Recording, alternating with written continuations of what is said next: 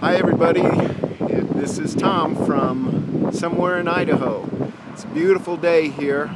I thought I was going to be taking a picture of the uh, my bicycle in front of the beautiful waterfall in front of me, but I guess I'm taking a video of myself with a waterfall behind me. Anywho, uh, hope you're all well, and I look forward to seeing you soon. The ride is going great, and I, I hope everybody has tailwinds today. Have a great day, and I look forward to seeing you soon. See ya.